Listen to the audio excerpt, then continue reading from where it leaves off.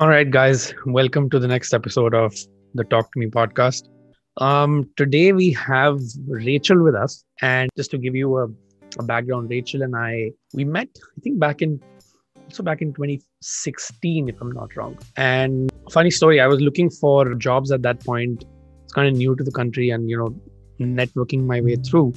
And uh, that's when I stumbled upon Rachel on LinkedIn, and we met. You know, we spoke for a couple of hours uh, you know, found a lot of things in common. And but yeah, uh, really looking forward to this chat, and uh, she'll be here with us super soon.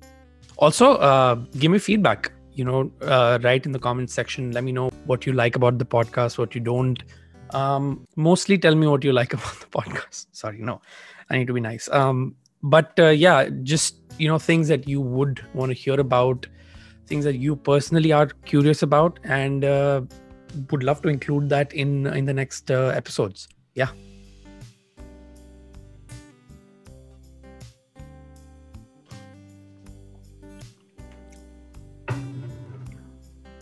Oh, there you are. Oh, hello. Hi. How are you?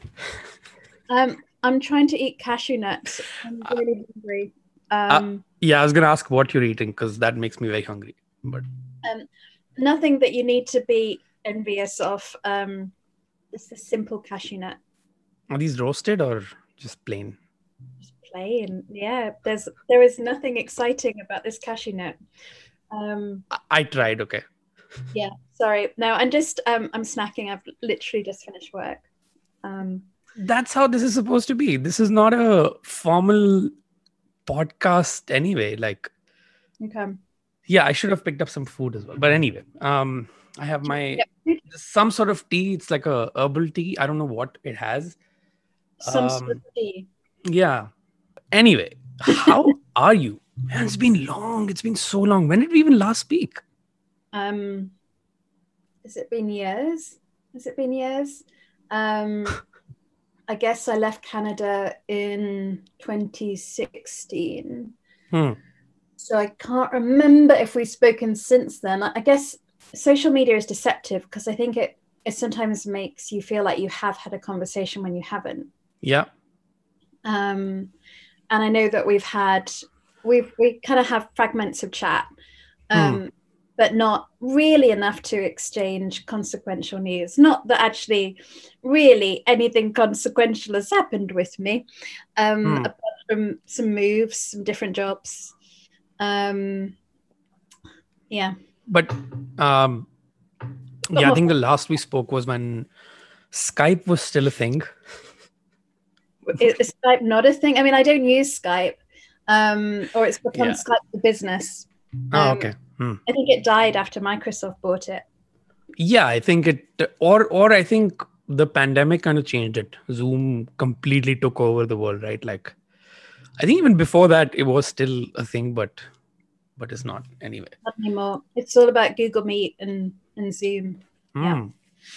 so this, the- i mean i have so many questions for you it's not even i feel like it's not going to end but uh how was i think i'll jump straight into it how was your move back you know are you happy moving back to scotland or Well, I suppose that uh, I just need to unpack that a wee bit because I guess I'm not sure if you're asking me what was it like to move from Canada to the UK Mhm. um, because I I did that and then I went to study in Denmark and then Hmm. I came back from Denmark and then I moved to Manchester and then I moved to London oh my god Then I've moved back to Scotland in the pandemic. Um, Yeah. Because course, I had a death in the family. So Oh, I Um, didn't know that. Sorry to hear that. Who who was it? my stepdad died. Um, he had a Oh, he he was already suffering from dementia, and then he had a stroke and also fell down the stairs. oh um, my god. So if it sounds matter of fact, it's just because I've I've now spoken about this so many times that it, it's um, you know it's more straightforward to talk about it. But Hmm. um, I guess he had he had the fall and the stroke just as I don't know things were sort of starting to get crazy, but um, Hmm. I guess the virus was around. We hadn't quite gone into lockdown, um, and then I I think um, I think look, I I'd arranged to come up to Scotland, and then the government announced lockdown. Mm. I came back up to Scotland, and then decided not to go back to London. So Oh, wow.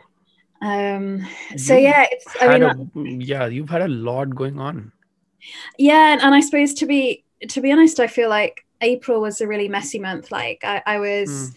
angry and upset and mixed up and um and now I'm I feel more zen about it. I've sort of processed a lot of that. Um Mm. so so it's easier to to reflect on. But yeah, I think April was a a very a very difficult month. Mm. Um and Is then it- of course it's, it's just been a roller coaster really. Is it April when he passed away? Yeah, so it's, well, he, he, I think he, he died at the end of March, um, and and yeah, because it was just a, a weird time because he had the, he had the fall and the stroke. I Mm. came back. Um, he died, and then I think I had my birthday the following week, and then Oh his funeral the week after that. So Mm. yeah, I mean, all these strange milestones that don't align with each other at all, and Hmm. um, yeah. I'm so sorry to hear that. I had, I wasn't aware of this. yeah I, I suppose this is what this is what you miss on on um on social media i mean i, I remember when i Mm. moved to canada Mm. i i totally missed um the fact that i um actually a former manager had Mm. lost someone significant to him and i just i'd i just hadn't picked it up on social media i just didn't know Mm.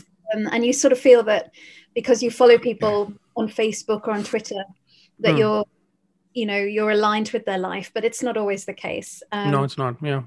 yeah um, There's so much that you don't want to share on social media with everyone, right? So you got to have that sort of um, filter when it comes to sharing your posts. So, Well, I I try and be I try and be sensitive. I mean, I think for all of this talk of self care, uh, mental health, um, I still think there's a bit of a taboo about sharing raw emotions, about sharing something when you're in the thick of it. Like most of the people I know who who do disclose that they've um, they've been suffering from poor mental health tend to do it when they're in, in their reflective phase. So they've already Hmm. been through the messy stuff. hmm, Um, and so you get the kind of highly polished, synthesized version of whatever that emotion was. But Yeah.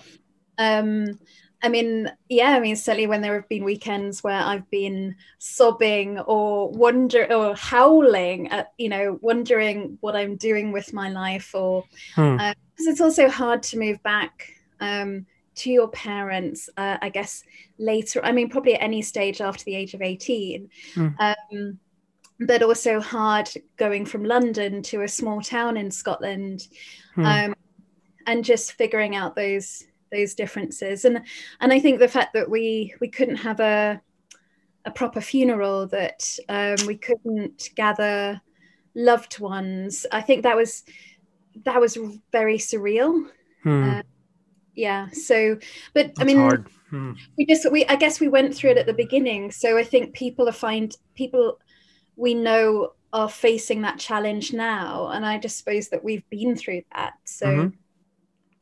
Um, And this was still the early days when you couldn't even gather what five or ten people at max. yeah I think it was I think it was six people oh my um god! yeah yeah You know, we we read about all of these news, uh, and we just, I guess, if it doesn't happen to you, you don't really know the gravity of the situation. So, man, that's hard. yeah Wow. it, it, it was but i mean to be honest i mean i god i i i feel like now we're in december of 2020 i know so many people who've had something uh, you know a hard life event in one form or another you know we have friends Hmm. of the family who have wrestled with cancer or Yeah. different operations or breakups or redundancy. I mean, you know, uh, sure, what what we have been through has been awful, but Hmm. I mean, I feel like most people have been through something challenging. Yeah, for sure. If not physically, uh, a lot mentally, I can promise you that. But uh, it doesn't compare with um, loss of a loved one. I mean, that's that's I can't even fathom that. Um, what was he like? Uh, tell me a little bit about him. What was he like as a person? Some fun memories. Um, yeah, well he, well, he wasn't he wasn't always easy. Um, I, I think a strong personality. Uh, I think um, yeah, quite strong-willed. Hmm. Uh, I think quite a maverick. Also, like playing devil's advocate. Um, He had a very interesting career of, you know, a bit of time in the Air Force. He'd done Oh some wow! some lecturing. He'd Mm. done counselling. Um, he'd also trained as an Alexander Technique practitioner. Uh, so a man of many lives. Mhm. Uh, I don't know if you've seen the Tim Burton's film Big Fish. I haven't, and I've not even heard about it. I'm gonna make a note for it right now. Big fish, is Okay. Big Fish, yes. He Hmm. reminds me of, um, or the lead, the lead character in that film reminds me of my stepdad Bill. Oh, I have to Uh, watch this now. Yes, because I, guess Bill also really enjoyed telling tall stories.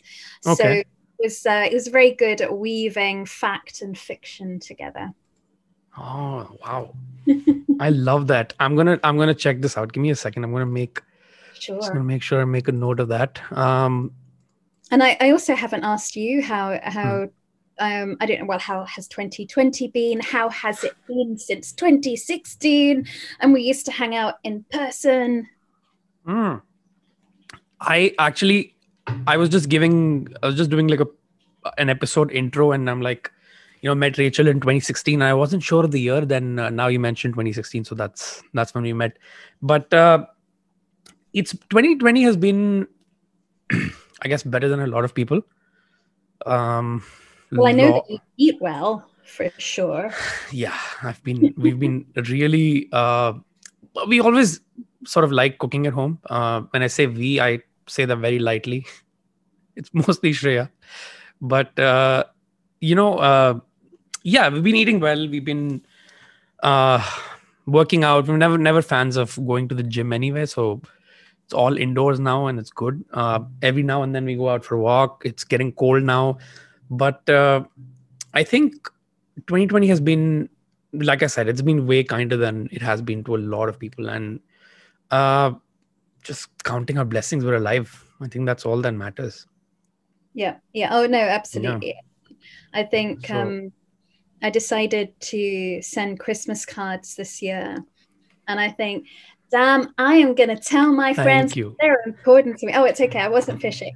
Um, but but but but of course, every time I told someone that I was going to send them a Christmas card, Hmm. the almost instant reaction was like, "Oh, I'm sorry. You know, I'm we're not sending them," or um, you know, I mean, most people also said thank you. That's that's very nice, but um, it makes me feel very old school um, Huh. because really nobody sends them for one reason or another. i love that you have kind of stuck to that tradition. Um shreya and i absolutely love writing letters and we haven't i want to say we were guilty of not doing it that often but we're it's it's by default that we sort of look forward to your cards now every year. So if you want to send it twice a year that's totally okay. You know you can pick up another festival for all that matters. I, But- I, I I need to swat up on more festivals. yeah yeah but uh you've al- have you always um have you always been like this in terms of like so i okay let me let me say this. For as long as i've known you uh we met a lot of of course we met a lot of people through you. You're always this uh magnet when it comes to people uh when it comes to connecting with people building a community.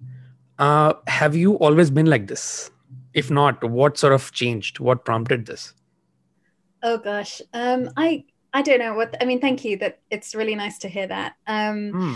maybe there was an element that was always a bit like that, and then maybe because I did things like I originally went to art college after school, but then I dropped Mm. out and ended Mm. up doing foundation year in engineering, Mm. and and obviously that was a totally different way of thinking and um, i went from a virtually all female environment to a virtually all male environment so there was Mm. something about bridging disciplines and bridging communities that I think emerged then. Um, I think I, I have an innate, it's actually what, what classmates at design school called my host mode. Um, so I think there is something sort of genetically or, or nurtured into me, yeah. which that it's impossible to inhabit space with someone else and not be aware of their needs like if they cough mm. I, will have to offer them a glass of water um, if i hear their stomach rumbling i will have to offer food like I, i'm just sort of wired to connect with that and i don't i don't know where that comes from um, huh. and then i think it's also when i emigrated to canada mm. i hmm. was lucky that people i didn't know anyone when I moved over, and people came out of the woodwork. Hmm. Um, you know, friends of friends, and and you know, lots of people helped me, and and so I think when I've, I don't know, when we connected, and when I've met other people who've made the jump of moving countries, it hmm. just it just seemed instinctive hmm. that you that you reach out and and sh- and you do you also get a sense of who are good people to connect with. Yeah. Uh, I have also occasionally reached out to help people who weren't actually very good at helping themselves. And then you back off quite quickly. You're like, no, I can't do good stuff here. like there's no there's no point. So oh. I think I don't know, just in that weird kind of tentacly way, you go out and you connect with the world and you meet kindred spirits. Mm and wonderful things happen. Yeah. And I love uh, the point about, you know, if someone's someone's hungry, you're going to offer them food. And like, was someone in the family like this? I think probably my mum's quite like that. Hmm. Um, mm. um, that explains so, it. I may well get it from her. Yeah. Uh, but then I, I, think a lot of it is just, uh, you know, I've met some good people. I mean, I think um, you know, maybe it's also thinking in Toronto, connecting with sort of makerspace communities. Mm. They tend to attract well they, they do attract lots of introverts but they they also attract quite warm inventive resourceful people who mm. don't like bullshit who do want to make the world a better place and i think yeah. it I don't know. It, it's it's yeah, it's just meeting people who haven't given up on the world yet, and and but want to have fun in in making it a better place. Interesting. Do you easily invest in people though? Um. Or do you invest too much? I don't think I invest. I, well, I I overcommit generally. Um, mm. so I feel a bit knackered because I'm volunteering at the moment. So there are days when I feel a bit mm. stretched. Mm. Um, so yeah, I, I, don't think I do that at the moment, but I think I've been guilty about that. Like some mm. days, I think when you pour energy into people, whether they mean to take that energy or not, but I'm sure you have conversations with people. Yeah. And some conversations leave you energized and some leave you a bit hollow. Oh yeah. Oh, oh yeah. um, so I think it's you you build up an awareness over time of who those people are and those people who give you energy you want to spend more time with and those people who take it away you kind of back off a bit yeah and like sometimes hanging out with some people is a chore. And i learned it the hard way uh, very recently that uh, we were hanging out with a lot of people that we shouldn't have been hanging out with. And we had invested uh, so to speak, and we just couldn't call it off. And I don't know. I, I think that wasn't healthy. Now I'm like, you know what? I have a. I, I think finally in life I have some sort of a filter when it comes to people. Like you know, you should should be allowed to choose your own people. That's it. Like you, not you can't hang out with everyone. You can't like everyone. That's well, just. I, that's yeah. a great have you have you read The Art of Gathering by Priya Parker? I've heard about it, but haven't read it. Is it a good oh, book? It's a great book, um, but it is about being purposeful in who you hang out with and how you hang out with them. I can't find it hand. Oh yeah, oh it's here. It's here. It's here. Oh, there you go. um, look, it's got post-it notes and everything. Um, oh, nice. Transforming meet. I like that. transformative meetings, events. I know she's got a podcast and Mm. uh, a website and stuff. So yeah, worth checking um, her out. Uh, but she was Interesting. because I think the way is that I don't know. There's all this talk on being inclusive, and obviously being inclusive is a good thing. Hmm. Um, but but that doesn't necessarily mean that you should invite everyone to everything all of the time, or Yeah. that you shouldn't sometimes be deliberately and intentionally. I think that's the right word. Um, Yeah. Yeah. Exclusive, yeah. and yeah why not right like you're allowed to uh choose who you invite you don't have to always make a statement about being inclusive i think Yeah, well, it, it just means I think um, what did oh I forget what the I probably haven't got it open at the right place. Um, there was a chapter in here about it was something like "Don't be a Bob," which is you know that kind of nice, non-offensive person who turns up with a bottle of wine at an event, but doesn't really add anything. They just don't don't they don't really add much. Um. I guess, to, to the to the vibe. Um, Mhm. So, I yeah, I mean, I think she when she talks through some of the examples in the book, uh, Hmm.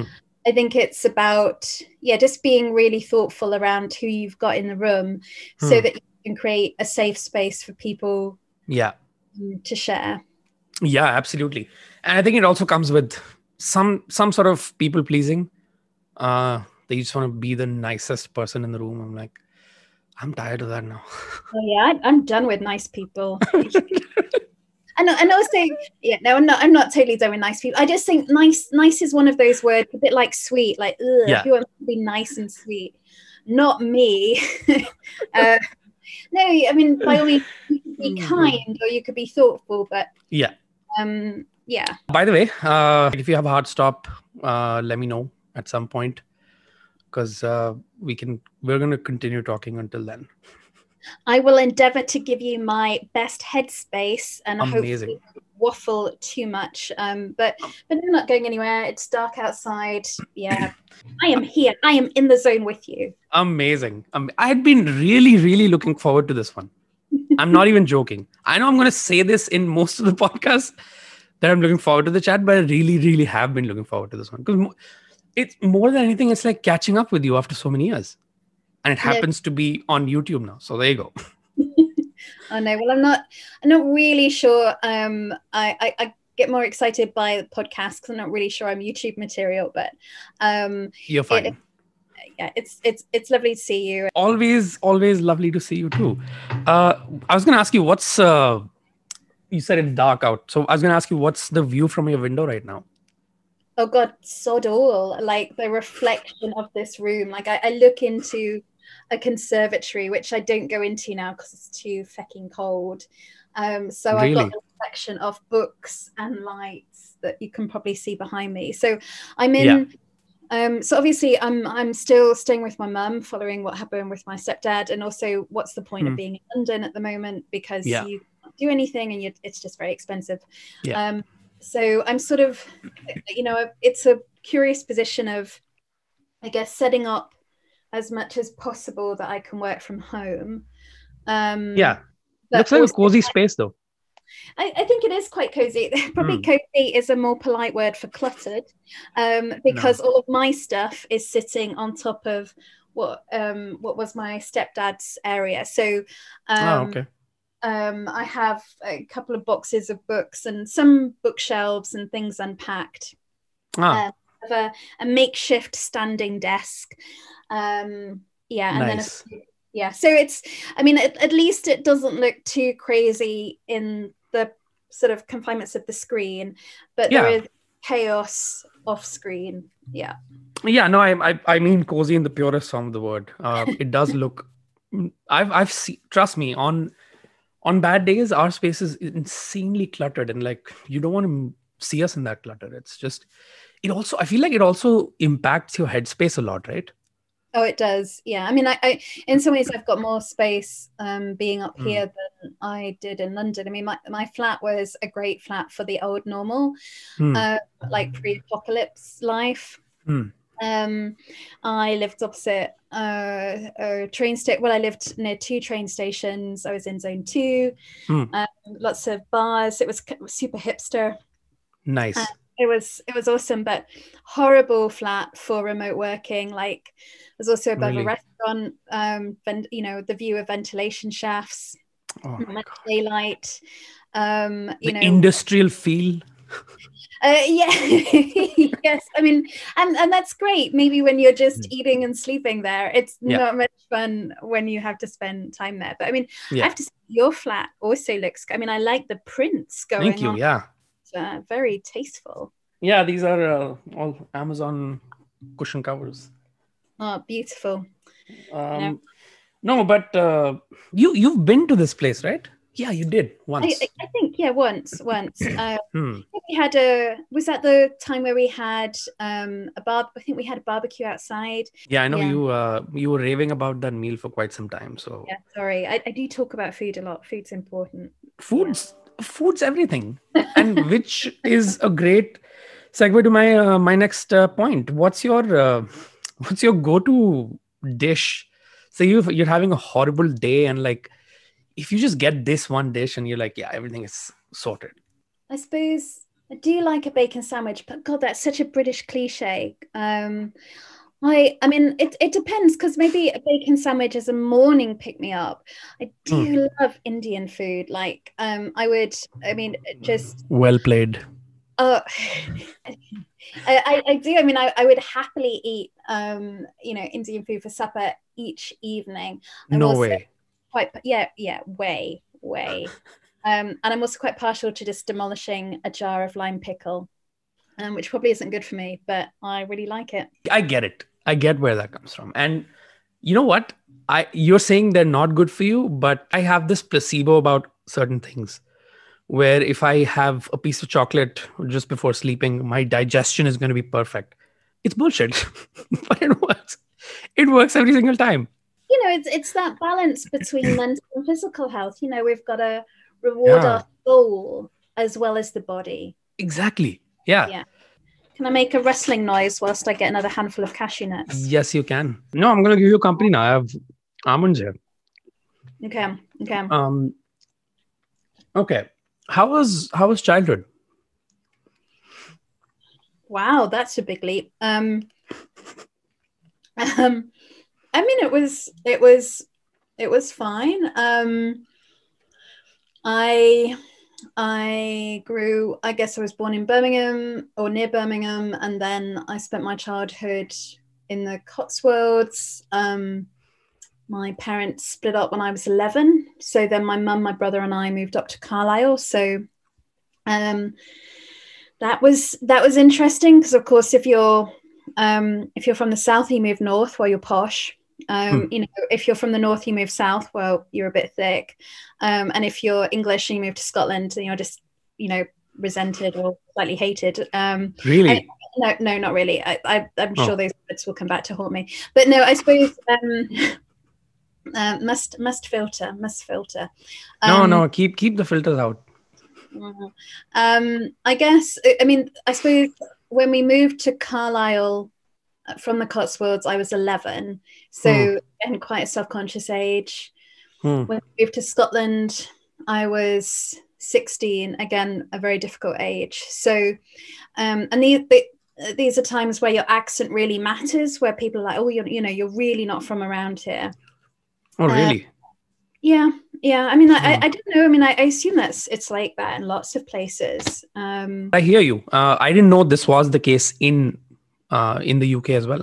I think very much so. I mean, Hmm. um, yeah, I would say that we're still quite judgmental depending on where your accent is from. I mean, Hmm. I've always been aware that I suppose as I, I, I'm firmly middle class, um, and I I'm aware when I'm talking to I suppose any other Brits, you, you just you Hmm. just kind of instinctively sense you, you you pick up bits of bits and pieces about class all the time, and Hmm. I wish that we didn't have it. And I suppose sometimes in Canada, I would meet Canadians who would talk about this this class thing in in Britain, like Canada was immune to it. But I Hmm. think Canada maybe has status where it doesn't have class and i mean i'm not mm. an hmm. academic so um, i'm talking off the top of my head rather mm. from actually any in-depth research but certainly with accents in in, in britain I, you it just felt like yeah you the minute someone starts talking you're mm. making judgments about where they're from about whether they have more money than you or less money than you maybe it was mm. because i moved from the south to the north again this there's there's kind of this association that if you're from the south then you're posh um, okay. so i think i've i've always been quite self-conscious about my accent and what it says about me. And now i have this weird transatlantic twang that people think i'm australian or something. Yeah. Um, so it's it's it's entertaining. I think I, yeah and i agree with you. And i think fa- accents are uh, extremely fascinating you know. They're like the biggest giveaway of your identity and uh, the lack of it you know. You know especially when we like in even in our case when we move uh, from a different country and uh, you know a lot of people try and pick up the accent of where your new home is. But i just feel like uh, if it's uh, if you're saying a lot of effort then you're you're forcing it. Accents to me but personally are really fascinating and i feel like people shouldn't try and get rid of them to sort of adjust in a in a place. So I d- I don't think I've ever consciously tried to get rid of my accent, but mm. I think um, I tend to I tend to be quite bad at sometimes picking up people's. Um, I don't consciously do it. Um, mm. I, someone once said it was um, the ability of having a musical ear. Mm. Uh, I don't know how much truth there is in that. It's a good way of looking at it um, I am full of like little pockets of knowledge that are totally ill-founded or uninformed by any particular depth. Yeah. Actually, that that brings me to uh, ask you: Have you ever uh, thought of writing a book? uh, With all that knowledge, you've you've like we've spoken about a range of subjects, and you seem like seems like you know a lot. So, um, I don't I don't feel like I know nearly enough. I don't think I'd write a book. I, I still have some creative projects that I want to pursue, mm. which um, I'm really bad at pursuing because I overcommit to lots of other things. Um, I I did write. I so I'm part of a writing group in London. Mm. Um, I joined. Nice. I joined, but so so yeah, with with writing, um, just before I left London, mm. I had signed up to volunteer with a charity called the Ministry of Stories, mm. which focuses on creative writing for kids. Mm. And through that, I met um, a lady who I'd now call a friend who introduced me to a writing club in North London. So hmm. we meet up every other Tuesday and we write about different things. And one of nice. the exercises that they set us was about writing about pandemic life in London. Hmm. Um, and that they we did that earlier this year. Now it was a bit weird for me because obviously I left London, so I wrote about the transition from this quite intense urban life mm-hmm. to to moving to a smaller Scottish town. Hmm. Um, yeah, so and, and that was quite a hmm. cathartic process. Yeah. Would you uh, do you prefer living the country life or are you a very city person? Intrinsically? Um, uh, probably um, intrinsically, I'd be more of a city person, but I have to say, um, I do feel that 20 probably, I mean, uh, God, I'm such a pandemic cliche mm. um, because I've like discovered gardening this year and talking about nature and walks and cycle rides. Um, so yeah, they're all great things, okay? They are, they are, yeah. yes, they are. And I, and I, I also um, this year, and maybe it's because I'm sharing a house with a parent at the moment. I'm like, hmm. dear God, I want to buy a house, um, and I can only, um, I can only really buy a house in certain parts of the UK because obviously hmm. we're really expensive. Um, Ireland, uh, where no one is regulating the housing market, and it's all a bit crazy. Hmm. Uh, so, uh, anyway, to answer your question, God, I should just answer the question. Jesus. No, I love uh, this. Keep going. Uh, uh, um, people are like, just just answer the question. Um, I would quite like a small house in Hmm. a medium-sized city where there is stuff going on. There is a train station. There has to be a train station to bigger cities. Hmm. Um, so I, yeah, I, I'd like I'd like time in a city. Like I like the idea of living remotely but still going to London to work sometimes because I like the Fair Hmm. um, and the food and the theatre and all of that Yeah. stuff. Um, but yeah, this in 2020 I discovered gardening, Hmm. and the, I also quite like um, reading, writing, making. I'd like to do more making. Um, Yeah. I've abandoned those roots, and I need to get Hmm. back to them. Yeah. Because you were pretty active with the Maker Festival here in Toronto. Um, are you? How did that come about? Are you? Have you always been like into making stuff? Do you enjoy making? What do you? What do you like making? I well, I used to um, when I was 18 and I went to art school. I originally specialized in jewelry, and then Nice. I was I didn't know that. Ah, I thought, yeah, yeah. So We need to have a conversation offline about that. okay, right, you're on. Um, Yeah. Um, and maybe if I come over to Canada, we'll we'll do some making. Um, Yes. Shreya would love that. God, she would love that. God, um, Hmm. yeah, I feel like we are scratching and clawing our way through 2020 to the promised land. Yes. Yes. Yeah, I know. Um, but I've always been, I think I was quite artistic as a kid. Hmm. Um, and I loved, well, I suppose I, I quite liked fashion, but I didn't, wasn't very good with the culture that comes with fashion. Um, so, Hmm. and jewelry was kind of good because it was 3D structures around the body. Mhm. So the, it was quite an exciting space to work in. Hmm. Um, went to do quite a conceptual course in London, got super frustrated with art school for lots of reasons. Hmm. Uh, and then I dropped out and went and did a foundation year in engineering because I was interested in electronics for jewelry and wearable computing. Um, And I just felt I was not getting the practical support that I wanted to make my ideas. Okay. Um, and then I ended up going down a completely different track. Yeah. Interesting. And what would you? Would you want to get back to jewelry, for instance, or do you want to try your hand at something else? I'd like to get back to jewelry. I mean, God, just as I talk to you, like, I've, well, I've got jewelry that I bought behind me. Yeah. I've got um, bits of wood that I collect off the beach. Um, oh, nice. beads out of. Um, so I, I don't I don't know much about this process that makes this really kind of amazing black and white marbled effect. oh, Um, wow. So, so there's a, a beach um, that's about 11 miles from here where this kind of driftwood um, is just it's just there and I take it. and it makes you happy. You know, you It look at it every day. Yeah. and I look highly hilarious because I cycle to this beach. So whenever I'm on the way home, I've got like branches sticking out of my rucksack and attached to the bike. Oh, nice. The amusement of the locals. Um, yeah. That makes for quite an image. It, it does, it does, Hmm. and it's not very efficient for cycling. Yeah, really shit wind resistance. Yep. Yeah, yeah. It works out though.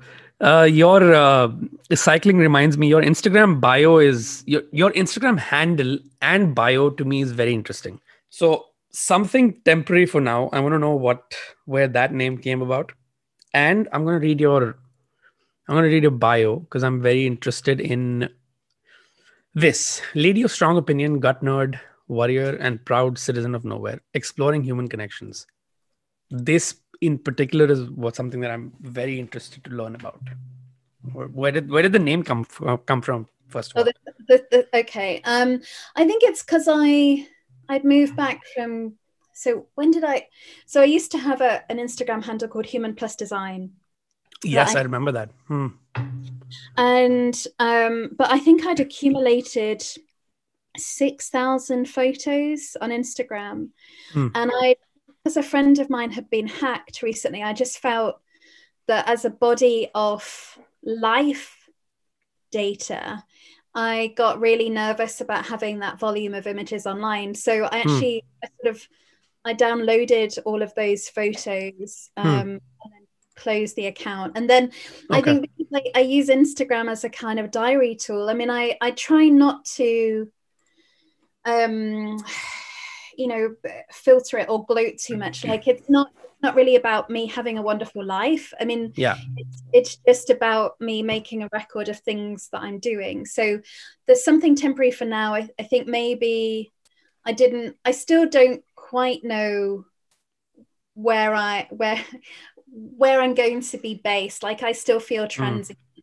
and and also mm. because i hate the i hate all of the the noise around personal branding and about what you should call yourself. And I didn't really, mm. I haven't always wanted to be Rachel Lane, but I didn't mm. really know what what the handle should be. And and something temporary for now, just it, it just seemed like a good placeholder name. Um, like I said, in transit. I like, yeah, that's transit. Yeah, yeah. Mm.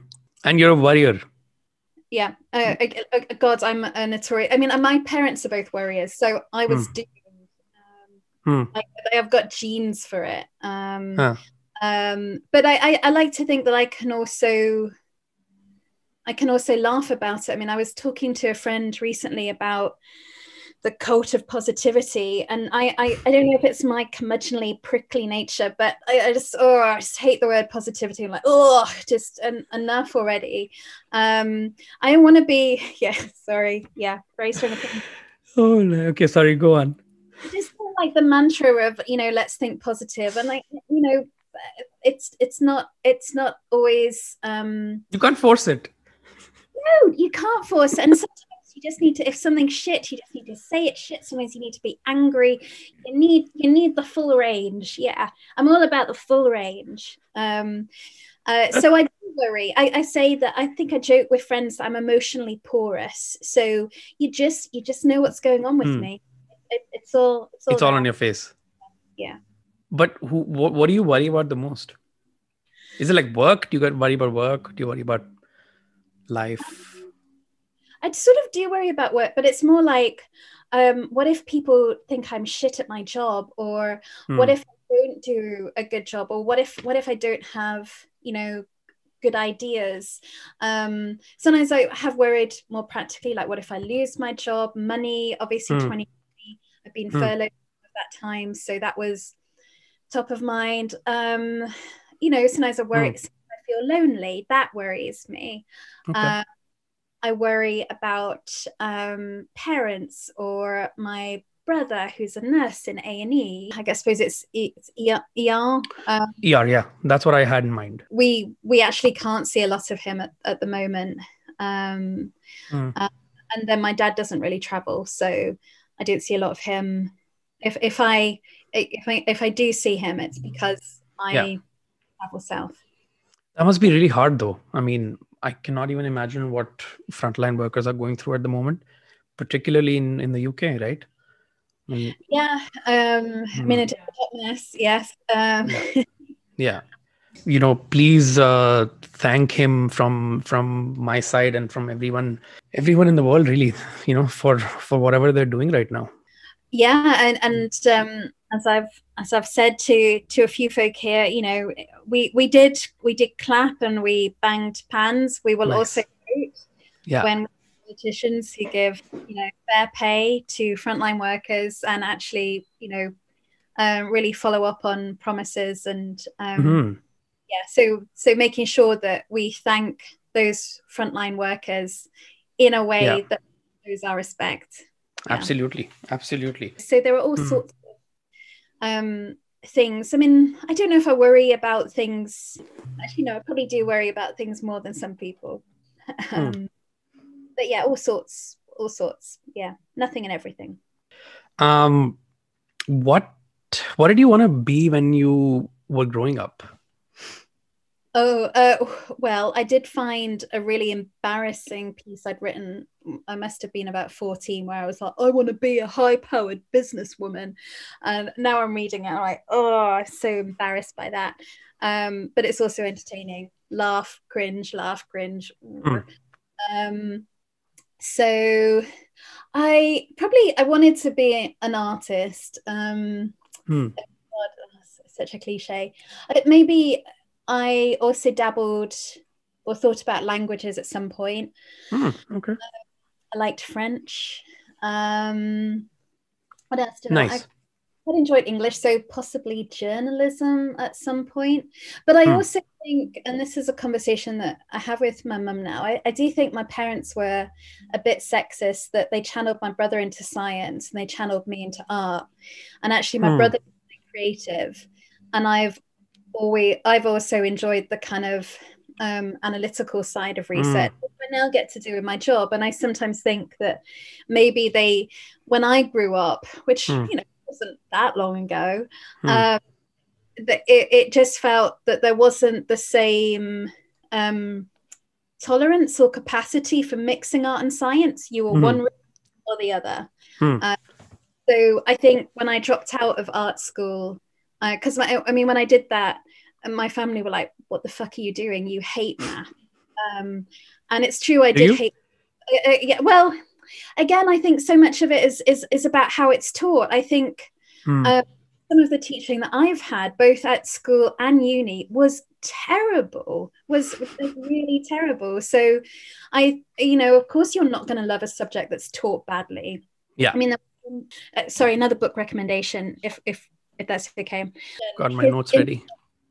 Okay. Go for it. Johnstone. Um, he's like the father. He's like a father of improv. Um, oh, wrote a, a great book on um, uh, sort of improv and education I think he originally trained as a teacher and then sort of got into improv and Hmm. running workshops um, for um, I guess actors uh, and uh, yeah he's he's got lots of um, really great stuff about teaching and, and learning and I think what's nice about the book is he talks about exercises that he tries Mhm. and then what works or doesn't work and how he pivots. So it's kind of like rapid prototyping with people. oh, um, nice. Context. But he t- he taught one of the things he says is that you know we we think about. oh, I'm going to butcher the quote. Um, this is so bad. Um, but it's something like you know we think that um, the difference between a good and a, a bad teacher is just that obviously the good teacher is more effective, but Hmm. but that we don't sometimes put enough emphasis that bad teachers are really detrimental. Like they don't just um it's not just that their impact is weakened it's just that they can they can do long lasting damage Yep. And so i think you know there were things that happened at school and at uni that really put me off Hmm. that were sim that were as much that were less about my ability Mhm. to to do science and maths and they were with the teaching and how pupils are identified for their talents and I, I completely relate to that. I've had a flurry of bad teachers. Um maths, in particular, is my nemesis, uh, or used to be. Uh, thankfully, I have a life partner that is basically pushing me to pick it up again because I feel like it kind of stays with you.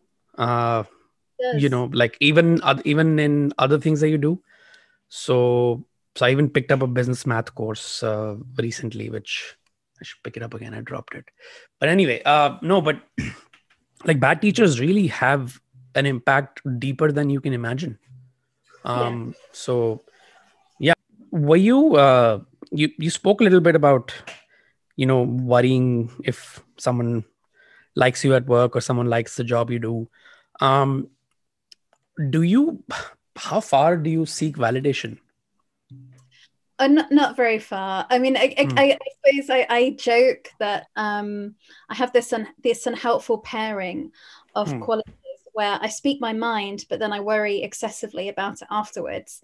And it would be easier to be someone who speaks their mind and doesn't worry Yeah. about, it, or just doesn't speak their mind. Yeah. Uh, but no, I, I, I, I don't, I don't need to. I mean, actually, now I'm off an age, Hmm. and I have enough awesome friends about me that I already feel validated. I still suffer a bit from imposter syndrome at work. But I was thinking, I was, we had this conversation at work recently, and um, I was thinking about an article that a British friend in Canada Hmm. had shared on imposter syndrome. And it was about, um, we talk you know lots of people you know claim that they have imposter syndrome but sometimes it's not imposter syndrome. Sometimes you are just at the bottom or the beginning of a learning curve and mm. you're not good at what you do. That's not mm. imposter syndrome. That's beginner syndrome. Um, so so it doesn't help to have everyone going around oh god imposter syndrome. Um, and mm. then maybe as you get older and you get more experienced it's easier because you're like actually no i am good at this and something that I, I think i figured maybe more so with female friends along the way that i think in in our 20s maybe we encountered more confident you know to be brutally honest white guys who yeah. were full of how great they were hmm. and was intimidating and then I suppose as we've moved through our careers, we're like, hang on, actually, we're capable, if not more capable, than some of these people.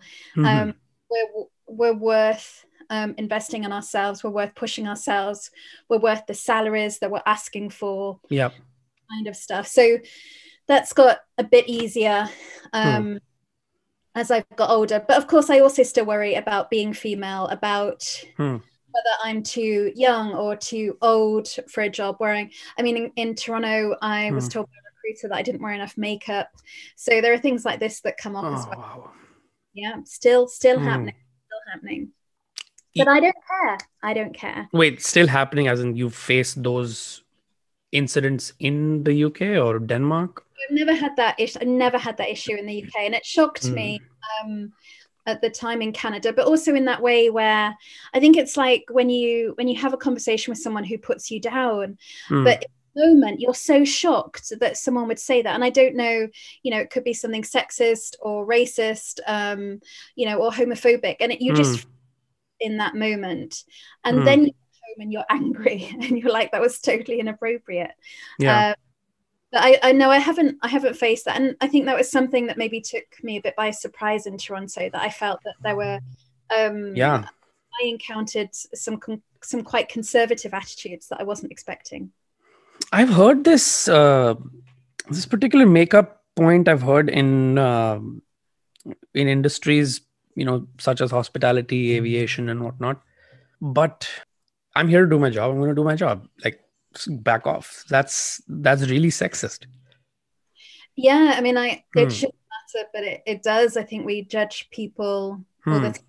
by how they look, whether we rationalize it or not. And I think, I mean, certainly advertising, which um, I guess a sector. I mean, I've sort of moved sideways. I was in advertising. I'm now in design. So hmm. the, there's a lot of overlap between the areas, but they're different. Hmm. Um, and uh, I oh God, advertising uh, was yeah was was ruthless and was very looks oriented. Yeah, even uh, even the non customer facing roles. I think it just attracts it, it attracts people who on one level on one level or another hmm. are focused on image. I mean that's yeah. advertising the whole scene. So mm. I'm not, yeah, not. Oh gosh, the, am I going to say anything that gets you into trouble? Probably not. No. Um, I hear you. Yeah. and and to add some context to that, uh, Mad Men is one of my most favorite shows, and um, I went to this job interview once, and the guy asked me, "What is your ideal workplace?" I said, "As long as it's not like Mad Men, I'll be okay. I got the job, and it was similar to Mad Men. but uh, yeah, I mean, sometimes I think that show is funny for a reason, and because you know, even though it's what it's said in the 50s, 60s onwards, but it's it's still very topical. It's still very current. That culture is still mm. prevalent. So I think it's slowly dying out. I think we we recognize it for the toxic space that it is. Yeah, and we're giving it less kudos. Hmm. Yeah, exactly. Okay. Are you happy? Um, life in general. Life in general. Um, probably not. In in in all honesty, no. I want my own place with, you know, I want. I don't want to live out of boxes. Um, I don't want to stay on a sofa bed. Um, my hmm. mum is awesome. Hmm. Um, I also I don't want to stay with a parent. I, I you know, so I think that's that's top of mind. I want to feel the economy stabilize. Hmm. I think um, obviously I've been furloughed for some of this year. Yeah. Um, I'm also volunteering with a charity. I'm aware that across the board, these have been really tough economic times.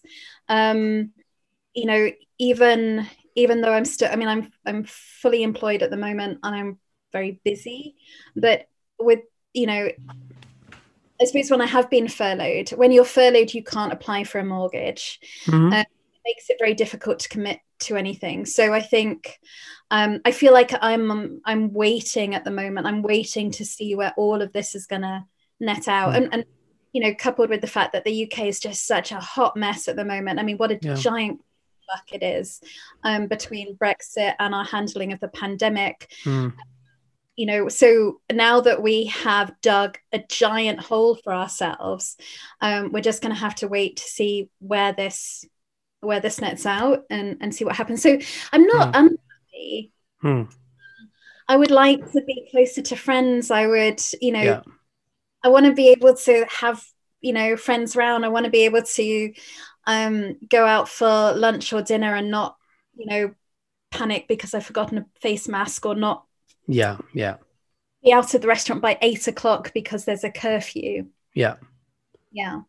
so there's like certain certain elements of of your life that you're not happy about uh, which is completely fair which is always going to be the case at any point in life but as a are, are you proud of who you are or who you've become as a person Uh, Yeah, I would say generally. Yeah. I mean, uh, you know, I, I like to think I'm work in progress. You know, there's Hmm. still there's still work to be done. Hmm. Uh, um, but um, yeah, I would I would give myself. I, I'm going to give myself an eight out of ten. that's massive yeah, that's great yeah. Are you? Hmm. Are you? Just to play the question back at you. I love this part. And I'm super happy. Uh, I think I have, no, no, I don't think, I, I'm sure I have everything that I want in life.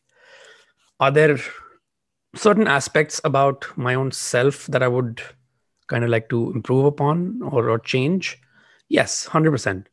But uh, by and large, I'm super happy. You know, I have an amazing wife, I have a great family back home.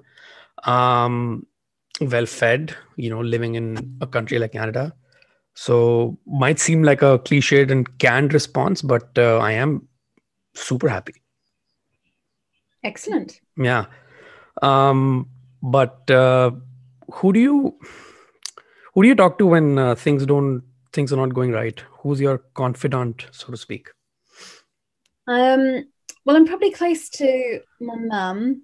Um, and then I also have um, I have a, a few good friends in in Edinburgh and Glasgow who um, who are yeah who have been really awesome. Um, I mean, um, I guess I've known them for.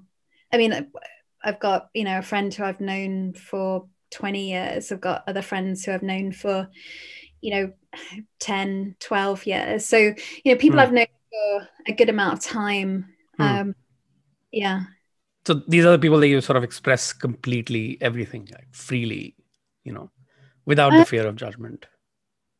no I, I i don't i mean Hmm. no i mean i um i do i suppose i talk to them once i've processed it i'm wary of sometimes talking about things that i'm nervous about when i'm vulnerable because i'm extremely sensitive to other people's reactions so i Hmm. have to very careful when i feel vulnerable Hmm. not to open up unnecessarily Hmm. um and i and i think also you you get to know which of your friend i don't know i think everybody has friends who are good time friends bad time friends Mhm. friends who always host the parties friends who always attend the parties so you know who you can go to for what Hmm. um but i tend to open up to people once i've gone through um something troubling rather than and i don't i don't really want to burden people i think you particularly you have to be careful this year because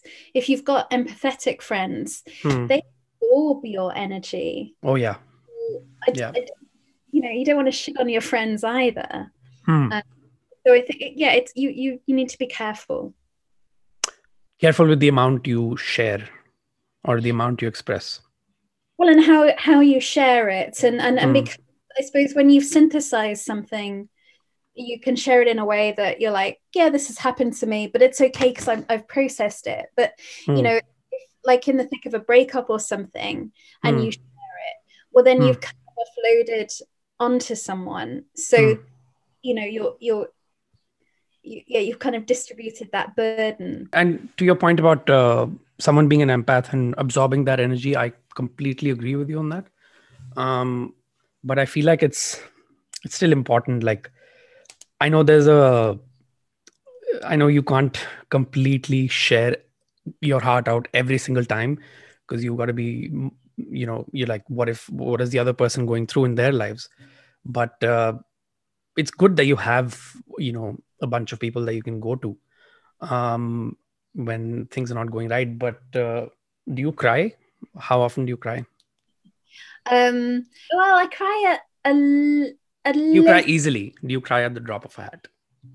Um, it, it depends. Like I, I cry, yeah, I cry a lot around the TV. Like if there's sad stuff, yeah, I cry then. Um, Hmm. probably don't cry. I normally cry when I'm angry.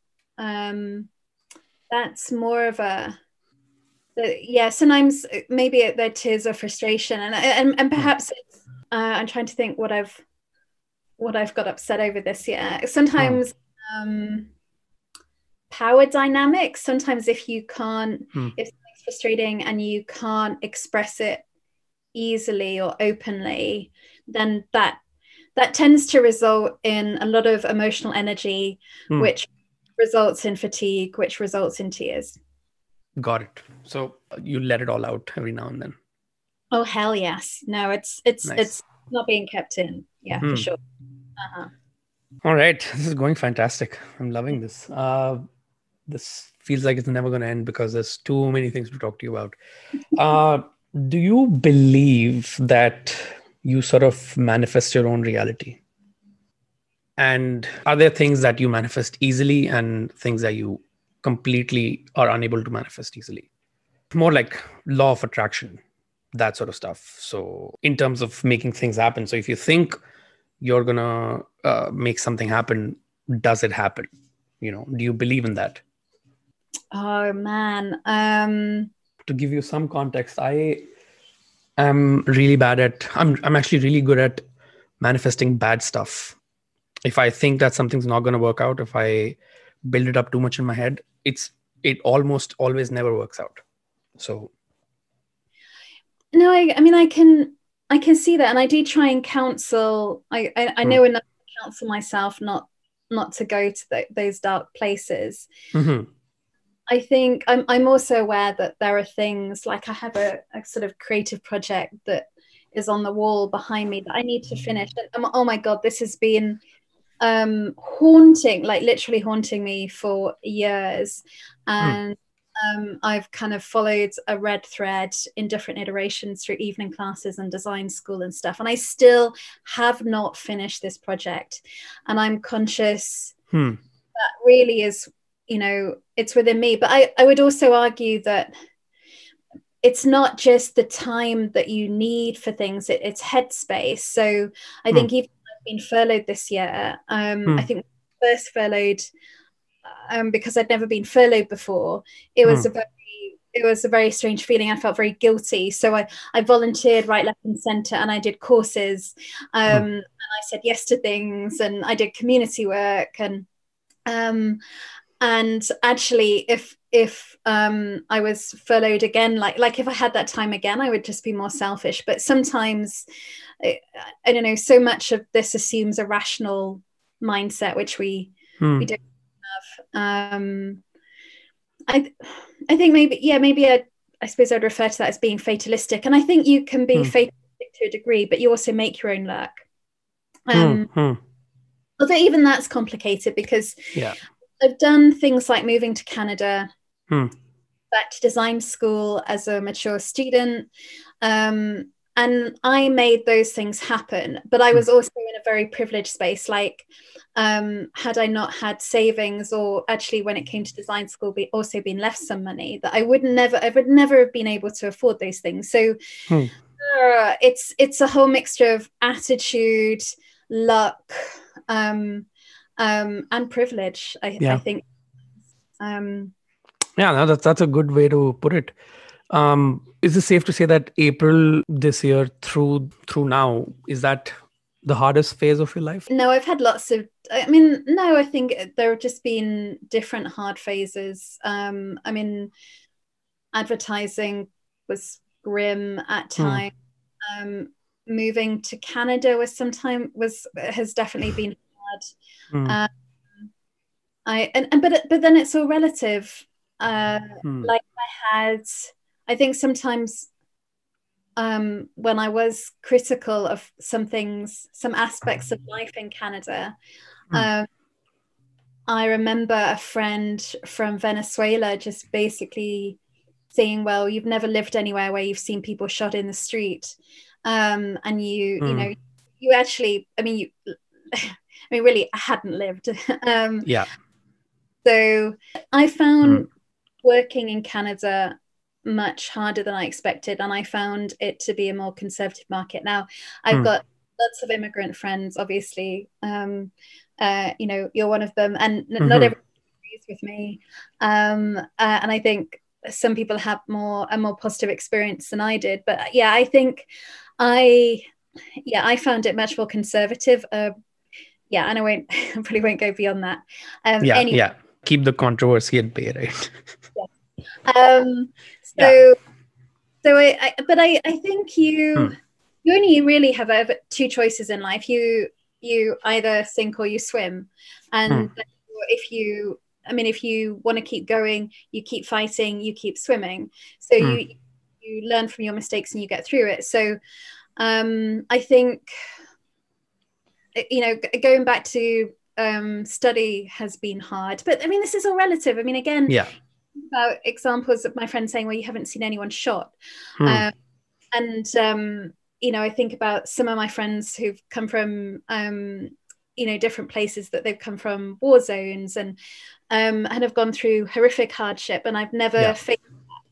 But also, hmm. as I remember once discussing this in um, um, a counselling session, and and and uh, being assured by my counsellor that you you are what you are. So yeah. I come from a white middle class background in the UK, mm-hmm. and I be aware of that bias and privilege. Yeah, but it's also what makes me me. Yeah, um, honestly, I've I I I've used this example uh, myself uh, when I see that people are sometimes privileged and you know i'm guilty of saying the same thing you know but i feel like it's unfair because your reality is your reality right like i can't put you in a certain situation. If you haven't been in that situation, you haven't been in it. Simple as that. So, so yeah, I understand. Uh, I understand what you're saying. I don't know much about um, your pre-Canada life, and I I don't know how hard things were before Canada. I, I don't really know how you know things have been hard in Canada. I mean, you've indicated that, that you know actually you have very good life. Yeah. So things aren't hard at all. Um, but what were your hardest life lessons in terms of maybe in, in moving countries or you know in the life you left and the life you have now? So we had a significantly privileged middle class life in India. Um, and you know I I don't know if you know this. I was living in Canada in even in 2007 and 8. I was a student here and I made the gory mistake of going back to India. Um, and nothing against India, but it's just that once you are sort of used to a certain certain life, um, once you have a system uh, in place, and then you completely go back to your old old roots, it wasn't pleasant. And you know we had a we had a tough time getting back here. Uh, i don't know how familiar you are with with the immigration side of things but we had uh, there was a program called federal skilled worker program. And that was the last year of the program. We tried a couple of times. We didn't get through. They were like profession lists. And uh, shreya's and my profession they were not in like we weren't falling in the category. So we would have possibly never made it here. Uh, but um, you know as luck had it we had something related to advertising and marketing and it it worked out. So i'm really happy we made the move. Um, as hard as the first i guess few years were as you're familiar you know with my with my job hunting and my struggles overall with with myself or with trying to understand who i am as a person that reflected in everything i did. Um until until i took stock and you know i understood that this is not like i want to do something else. So i picked up uh, photography and you know uh, now i'm doing this. If i were to sum it up uh, i'm glad we i'm really happy we made the move because i don't think i would have been this person in india. Um, so what, what's the difference between you in canada and you in india?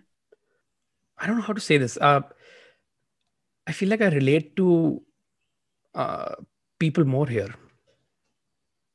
And I feel like I can express more freely. We've been here what five years, and we went back earlier this year, right before the pandemic hit, and the first few days were were a culture shock. Can you believe it? Like this is it's my own country, but uh, I just feel like I'm more at home here. If that explains anything. It does. It does. And I, I mean, I, have never, I've never been India. I mean, my cousin, uh, I have two cousins who are, are half Indian, um, and um, I, I hear about their adventures, and I, I would, I, I now, I feel like I have quite a few Indian friends from different parts, but, mm. but they're all out of the country. yeah, yeah, and and we, you know, we carry a piece of our culture everywhere we go. Uh, we do almost everything Indian, uh, whether it's festivals or food, you know. Uh, but we just take that piece with us wherever we go. So if we were to move to say New Zealand tomorrow, the India would still go with us, you know. But uh, I guess it was the living. Like there are other controversial bits that I don't want to get into uh, about living there, but uh, that's why I don't like live streams because you know you can't take anything back. Yeah, yeah. So but like all in all uh, i am i'm a very different person than i was in india and feel like this country is more accepting overall yeah yeah i mean it, it's it's funny because i think um i mean in, i don't think the uk i think in some ways canada is more accepting the uk mm. but i think it i also find it it easier even even though the language is the same um, hmm. And there's some shared history, I still feel more comfortable, hmm. uh, more able to express myself here. And, and maybe because I feel as an immigrant, there's always this element that you have to be grateful for the for your new home. And yeah. sometimes I definitely didn't feel grateful. I felt angry. Hmm. Um, and um, but I, I as um, as the father of a Canadian friend pointed out, I think when I have been angry hmm. about so I remember him saying, well, the trouble is that you're comparing Toronto to an ideal. Actually, mm. if you compare Toronto to many other kind of global cities, mm. we, we're actually, you know, we are very inclusive and we are integrated and multicultural. Um, mm. Actually, we're, we're, we're doing well. And, and I think, you know, when he said that, I was like, okay, that's an absolutely fair point. Hands up. I was comparing it to an ideal. And I think maybe yeah. sometimes things that frustrated me is because Canada was so squeaky clean with its brand. It's like, look, we're welcoming immigrants. Come over here, come over here. And actually, the reality just wasn't that straightforward. Mm. Um, but it's better than maybe the UK, which is where we're like, no, just you know, bring bring down the walls, bring down the walls, get out, get out. If you're not, you know, white and British, I mean, it, it's mm. it, it's sinister, it's creepy, it's yeah. it's and it's absolute it's ugly and it's not the country that i identify with. Hmm. but because it's my country i can say it's a it's a shit fest. And yeah. that's that's all right. Of course it is yeah. And uh, it's also your the kind of experiences you had here. You can't uh, like anyone else's version of canada might be completely different. And because if someone's had a, had a smooth sailing they'll not relate to you at all you know but maybe it's because i mean i i you know i came from this this middle class white background so yeah um, with my middle class white ways, I was like, actually, you know, it's not all that, and this is wrong, and this is wrong. And yeah. I remember recruiter saying, um, with my British accent, that people would either think I was smart or arrogant. Um, what to do with that? Um, so, I mean, I, God, there are all sorts of nuances and biases that play into this, and and. Yeah.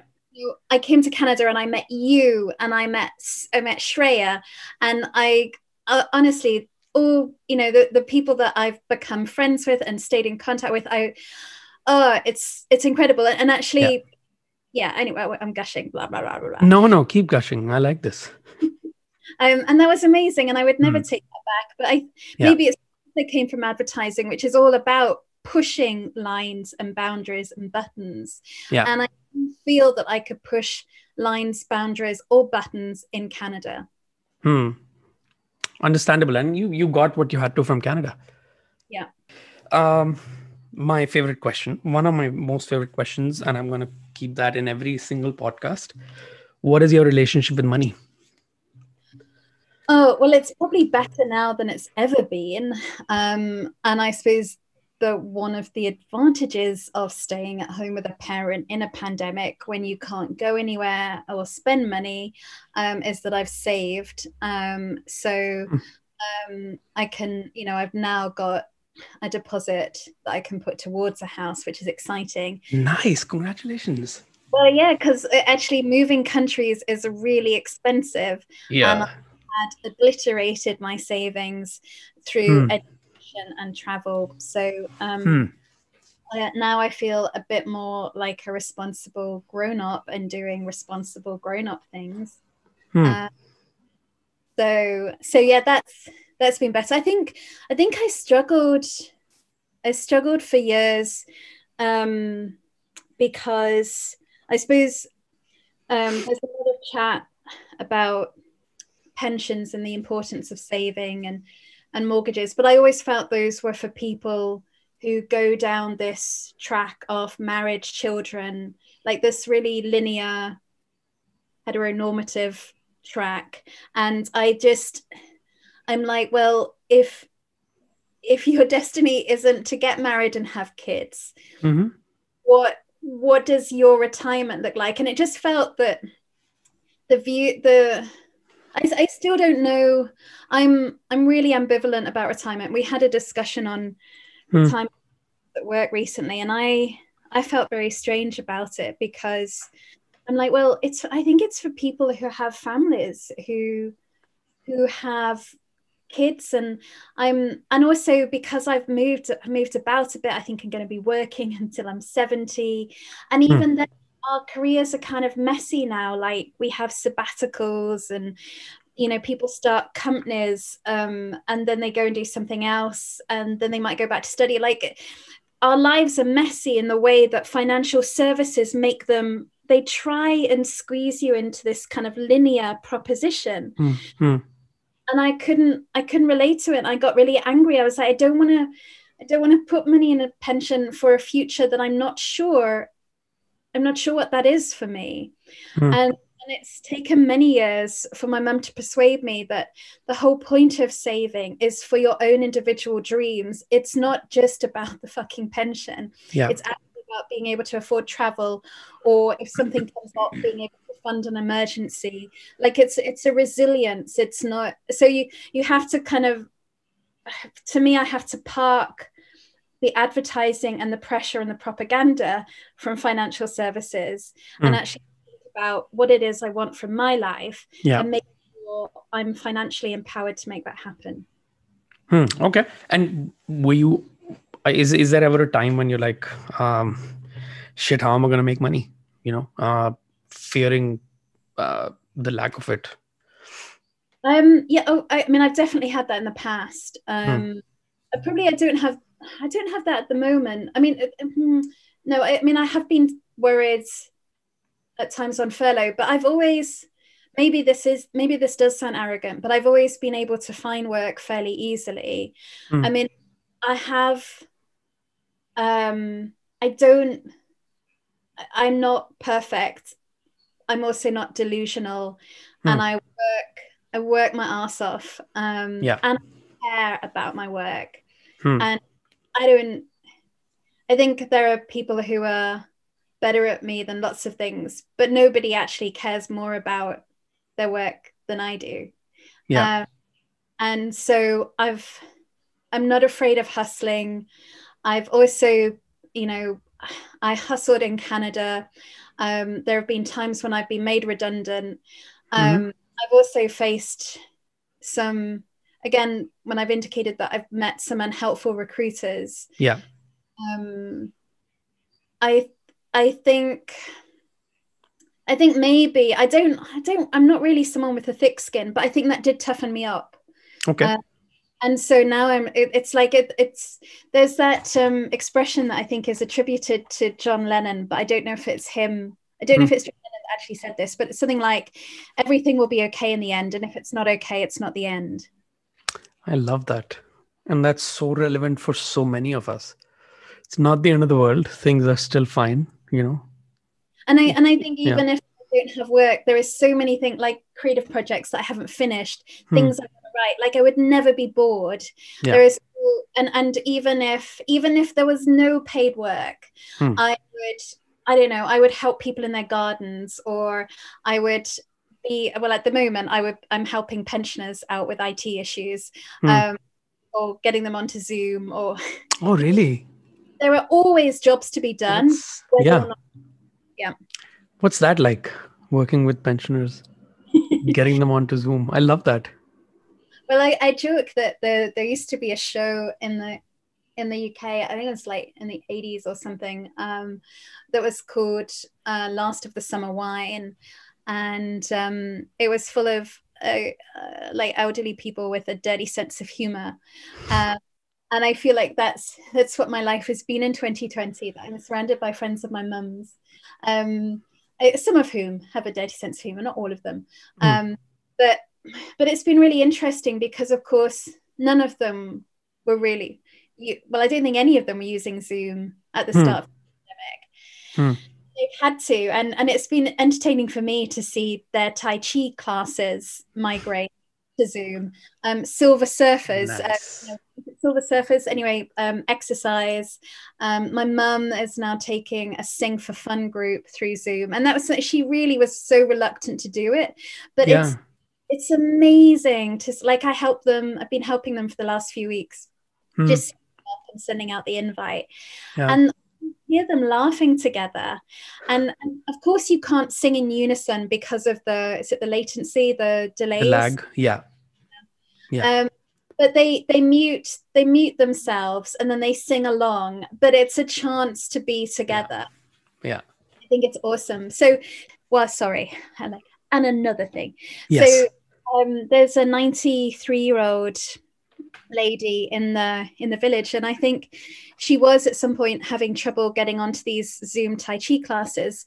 And Hmm. I think I think sometimes maybe the rest of the group thought, oh, she's old, or maybe she's she can't use the interface. But I I, I observed her, you know, because I went over to help her her get online. Nothing to do with the interface. Like she's super smart, she's all over it. But it was an eyesight, you know, her eyesight was going, and none of these devices Hmm. um, are easily set up to help people with physical. You, you have to go through. You Yeah. have to get a specialist. it's not um, accessible. Yeah. No, it's it's not Hmm. accessible. Hmm. Uh, but yeah, she was super sharp. So I mean, it's interesting that actually none of this is about the elderly struggling with technology, but Yeah. not everybody's in- internet connection is is there, and particularly if you've got an old an old like notebook or a- an old tablet Mhm. and an internet connection, it's going to inevitably lead to a poor experience. Right.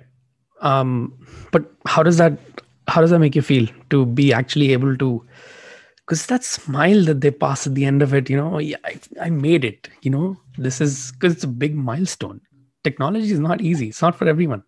I mean, I think they they are pleased. I mean, there is there is an element of delight there. I mean, I think it's also a bit of a learning curve, and I think. Um, I mean, I I certainly sometimes feel a bit saturated with screen time. So you yeah. kind of this out, but I think it's better than nothing. Yeah. And it was, I think, for for the first Sorry. Hmm. I think people thought that this would be coming to an end quicker than it has done, and they were waiting. And they, you know, there were people who didn't leave their houses, or who, I mean, or who really didn't, maybe didn't leave the garden. Hmm. They just, they just weren't doing much. But because I think everybody thought that, um, oh, that you know, they'll a vaccine or it'll somehow get easier, and then it got, of course, it got worse. Yeah. Uh, and because it, you know I, it would be easier if we had a government that under promised and over delivered, but we have a government that, that continuously kind of over promises and under delivers. So I think now people are like, okay, this is going to go on for a while. Let's do Zoom um, yeah. because things aren't going to change, not for not quickly. Uh, yeah, and, and people have adapted well, like you said. Uh, it's better than nothing, right? At least you have some sort of contact. Um, but speaking of government, you, I mean, the UK had the first uh, vaccination administered. Was it yesterday? I think so. Yeah. Mm. Yeah. So headline That's about a big deal. That. Um, yeah. I mean, I, obviously there are um, there are groups that are prioritized. I, again, you know, I kind of feel sort of excited about the vaccine and a bit nervous because it sort of feels rushed out. Um, mm and we don't we also don't know the longer term repercussions like i, mean i yeah. think don't know if you can get covid more than once we don't know how effective the vaccine will be um, so so i think it's i think it's exciting but i think i'm also keen to see what the longer term um, hybrid future looks like with now mm. that we had this and i when this first kicked off in in in march i think it I was making all sorts of zombie apocalypse jokes, and and I guess the novelty is worn off now. yeah, no more of those. But oh now that um, I think it was just, I suppose it did feel like almost, you know, that you could relate to those sci- those dystopian sci-fi films where you you wake up in hospital six weeks after a major event and it, and the cities are deserted and i mean uh, but I, but I hope that even with the vaccine now, we know that something like this is possible, and that we've actually got better defenses in place to safeguard, not against it, but of living with it should this happen again.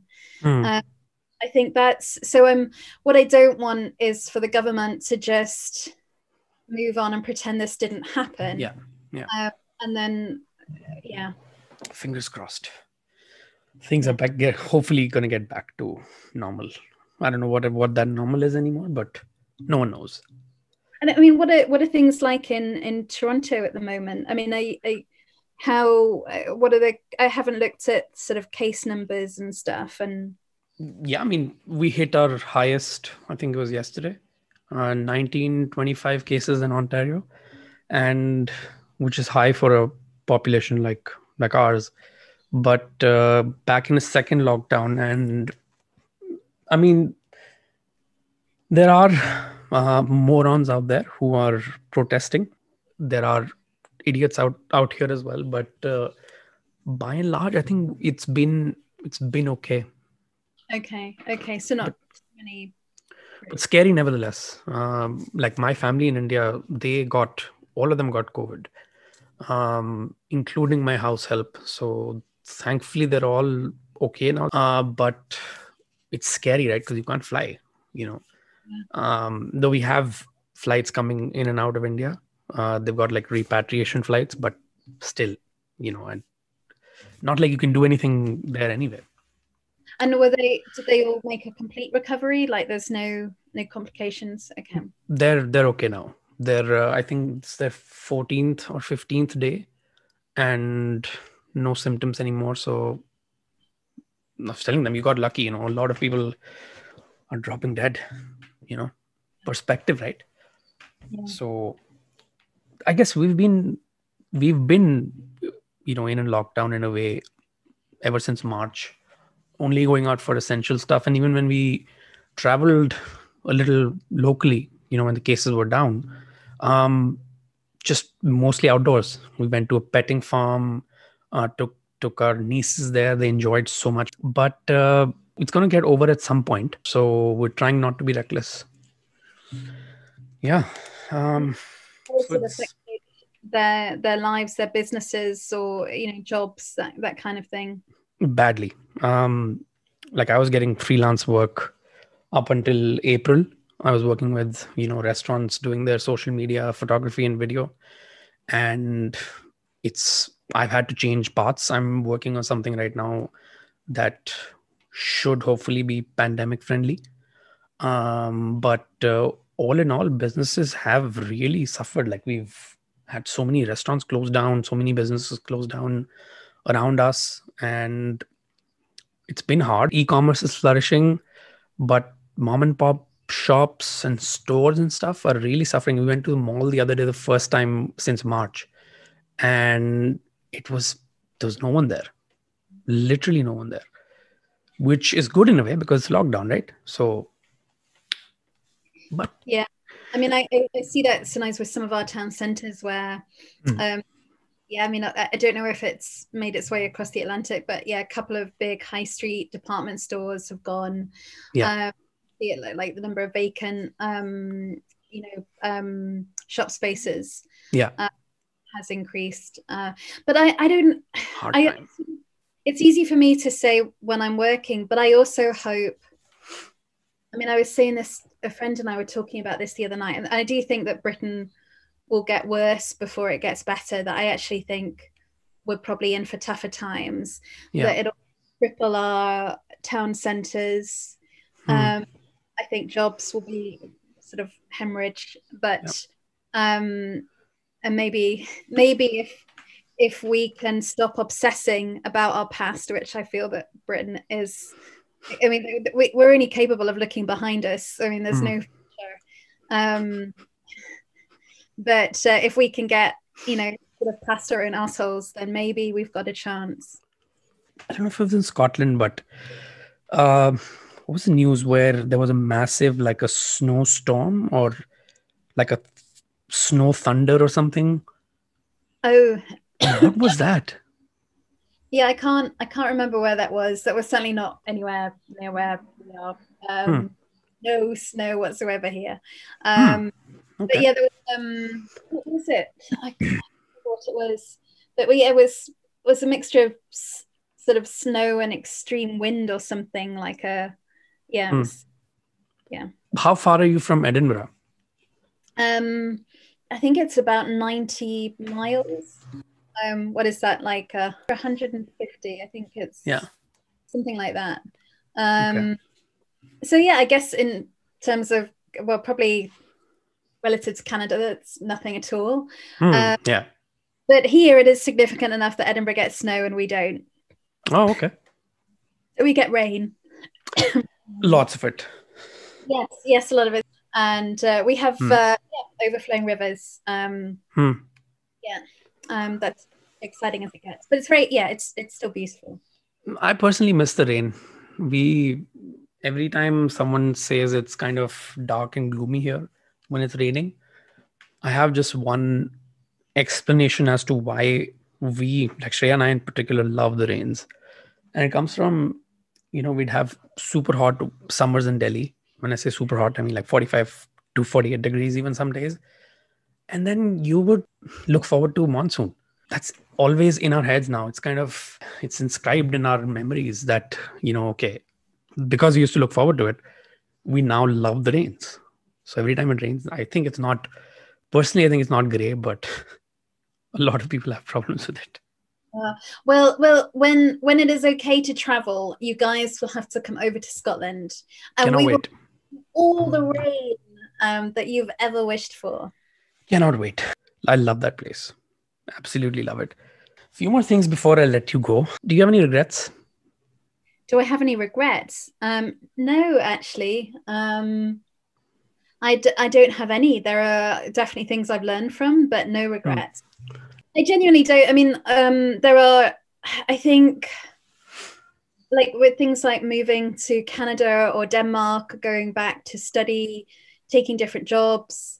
Mm. Um, for sure there are things that I'd done I wish I'd done differently, but I learned from all of them. So I don't I don't actually regret any of it. I love the optimism. I don't I, I don't even I don't even feel like I'm being that optimistic. I'm just like I, I just feel very pragmatic about it. Like I did Hmm. some stuff, some of it some of it was stressful, Hmm. but I it's everything you've done I mean makes you everything you are. So Yeah. you, you had a question like do i like myself or am i happy and i'm like Hmm. no you know there's room for improvement but Yeah. it's yeah yeah yes And it's a tough it's a tough one to answer. It's evolving, right? Everything is is an evolving process. So um, you know i could listen back to this recording and i'll be like oh i just oh, i don't want to watch myself don't want to hear myself um there are things i've written where i'm like oh you know it's kind of clunky or wasn't very eloquent but but you grow Hmm. yeah Y- y- you know what that's it's interesting you mentioned that i have the same fear around even when i was starting this podcast i had the same fear like what if i sound like a total idiot you know the whole world's going to see it but that i think again stems from uh my fear of validation like i want to make everyone happy but people are not going to like you anyway you know it's totally fine I mean, if you're making, I mean, some a couple of people have said to me over the years that you know Hmm. you can't please everybody, so there's no point Yeah. in trying. I think if you know which people you're really aiming for, just Exactly. brings them joy. yeah absolutely and and you're doing great so you're going to watch this recording and you're going to go like wow that's me that I- sounds I, like I know my mum awesome it, so I'll just put it out, and I, and and she can watch. so she's going to enjoy this anyway She'll love it. Yeah. what is she like as a person Um, which is she's probably a lot. I mean, we probably share quite a lot of characteristics. Hmm. Uh, I think she's she's warm. She's self-effacing. Um, she's smart. Um, I think probably less direct than me. Um, shock. Um, yeah I don't know. I mean, I, I think I know her too well, so it's Hmm. difficult for me to. But she's. I mean, I think what I like is that she's quite open, and I'm quite proud of how she's adjusted this year. Because obviously, she went from being, from losing her life partner to um, also she was also a full time carer, so it was a massive lifestyle shift. Hmm. And- Suddenly, the focus of life was not about my stepdad; it was about her. So Hmm. um, and of course she wasn't she's i mean she's pretty cool with online banking and she's you know she was comfortable with a lot of things but seeing her conquer zoom um, and uh, you know do more of this stuff um, Yeah. You know was was really exciting that's uh, heartwarming yeah yeah um, so Hmm. yeah i'm proud of her, proud of her. if bills were not a concern what say you have everything covered you've got a few million here and there what would you be doing with your life I would have my own company and my own startup. Um, yeah, I would.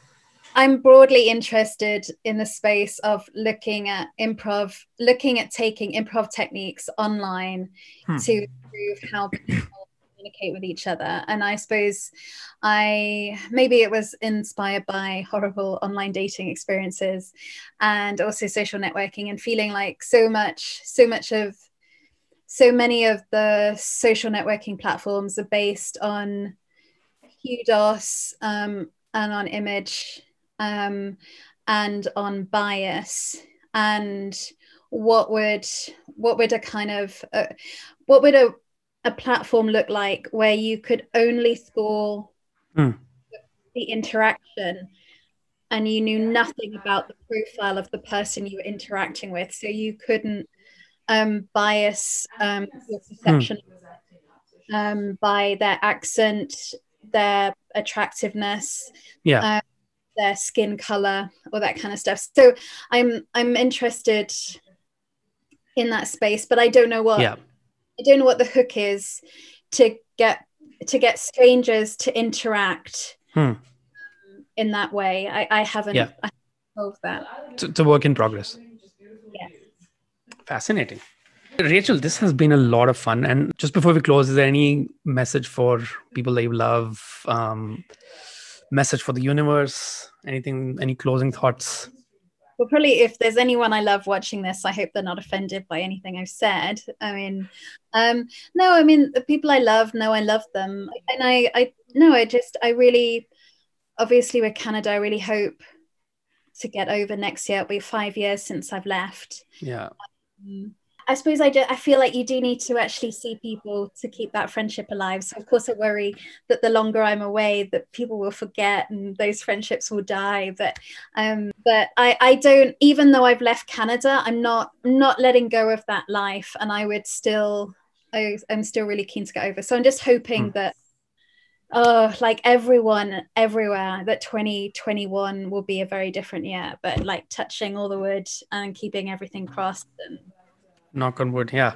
Well i just feel like rambled at you for i don't know two hours. What um how can how can we help how can we me and the internet help you? Like what what do you need in 2021 apart from rain?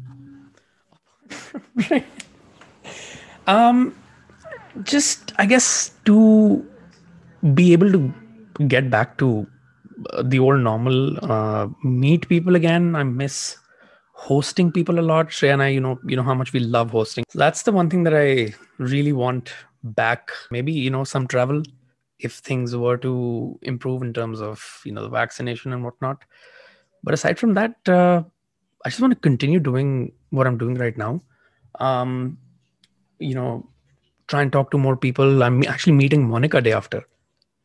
Really? Yeah. amazing. okay. Yes. Is watching that doesn't know Monica. Monica's pretty awesome. She is awesome. She is a live wire, and I cannot wait for that. So yeah, just continue um, trying to build my own uh, expression, my own personal brand through YouTube, and um, yeah, 2021 is going to be better than 2020 for sure. Well, I'm I'm happy to send you cases of Irn-Bru or um, Scottish or whatever other terrible food you need from this island. Shortbread. Sorry. Short the shortbread cookies. Yes, I can. I can. We've I found a Scottish store here, and we go there frequently. Let's just say that. okay. Okay. Uh, look but, out Mm. By the way, you mm. said that you'd you'd switched um, track in the pandemic. So, um, are you are you able to talk about what you're moving towards, or is it secret? Uh, okay, I okay. It's not a secret per se. It's going to be something related to e-commerce. Okay, that narrows it down. yeah, and then once I uh, stop the record button, then I can maybe tell you a little more. But, um, but yeah, I mean, it's going to be some something related to selling products online, okay. and that's why I said it's a bit somewhat pandemic friendly, if you will. So, yeah, I just felt like uh, jobs were not. I don't want to say they're not for me, but just wasn't happy at all. It is really difficult working for people.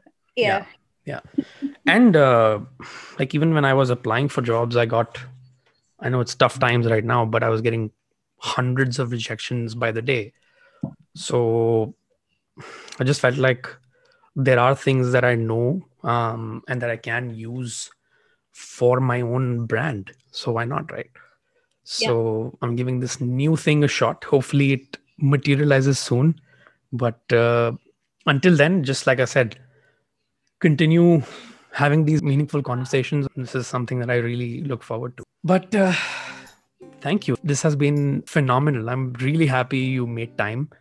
And uh, hopefully we can do this again and hopefully in person next year. Yeah, no, absolutely. And and I've I've always got time for you. I mean, I think that you and Shreya are wonderful and you like it's Thank been you. a so um anytime. Excellent. All right. Well, I'm going to let you go now. Uh, thank you again for all your time and uh, say hello to mom. I will. I will. I know um, she's going to love watching this. no, she will. She'll find it highly entertaining. Yeah. Uh, now that she's been mentioned a few times. Um, but uh, no, let me know if um, I can help anything. And otherwise, I hope to see you with a suitcase of shortbread next year. You know, wait. And um, yeah, Yeah. just you know where I am. Um, let me know if I can help with anything.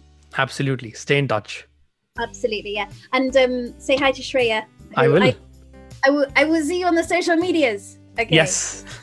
Okay. Just. Bye. And we'll we'll chat about the jewelry bit soon. All right. See you soon. Take care. Bye. Bye.